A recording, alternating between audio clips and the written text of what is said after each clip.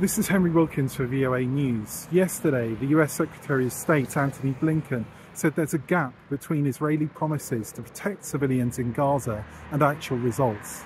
We're here at the Western Wall in Jerusalem to ask people if they think Israel is doing enough to protect civilians.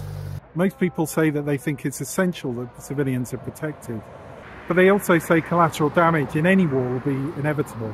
Israeli people doesn't want to kill civilians. They want to kill Hamas. In wars, there's always a problem and there's always casualties.